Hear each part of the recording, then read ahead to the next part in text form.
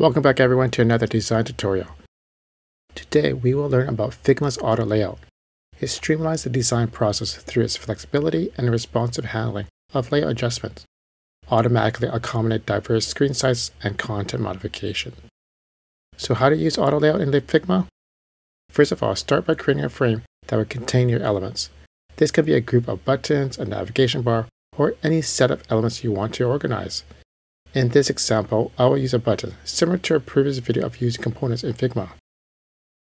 In your next step is whatever elements you want to create an auto layout, make sure they are selected to be placed inside the frame, and apply auto layout. You can use keyboard shortcuts or the control panel.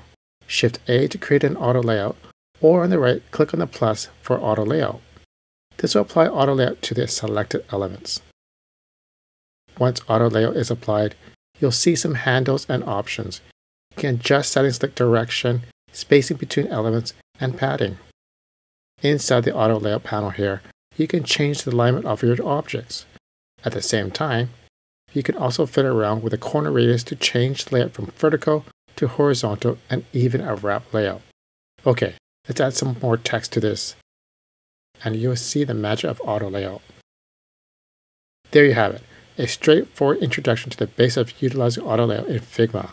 Stay tuned for our upcoming video where we'll demonstrate how to create an accordion style menu with the help of auto layout. Thanks for watching.